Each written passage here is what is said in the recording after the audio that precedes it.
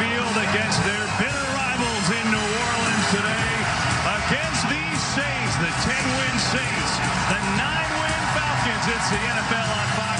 And a Merry Christmas to you as we welcome you upstairs to the broadcast booth. My partners Charles Davis and I'm Kevin Burkhardt. Well, you look at this game, Charles, a big one indeed. You got Drew Brees, you got Matt Ryan, but we've got four running backs in this game that could determine the outcome. Exactly right. And both of the New Orleans runners are going to the Pro Bowl. We'll start with Alvin Kamara, who got hurt on the first series against Atlanta and looked like he was off to a big night. They'll use him all over the place, even like a wide receiver running routes downfield.